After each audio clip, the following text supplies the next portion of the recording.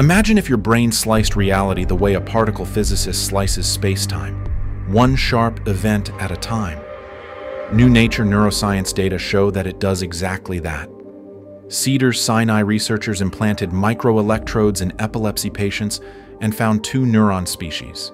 Boundary cells spike at every context change. Think of them as the sync pulses in an oscilloscope trace. Event cells fire only when the contextual jump is big, like a phase transition. A soft cut. Same hallway, new colleague. Small delta S in the system. A hard cut. Hallway, car interior.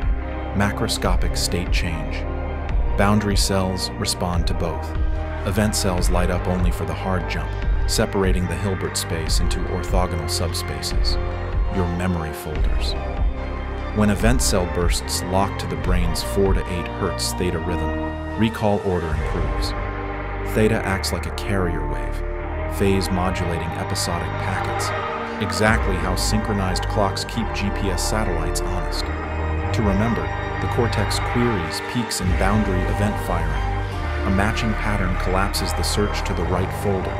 Mental time of flight spectroscopy. Hypothesis. Boundary Event volleys trigger midbrain dopamine bursts.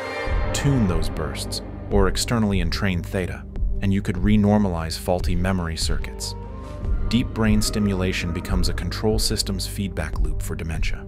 Bottom line for physicists, cognition isn't a smooth manifold, it's piecewise continuous, clocked by intrinsic oscillators and gated by state change detectors. Understanding that discretization could let us engineer memory the way we already engineer qubits.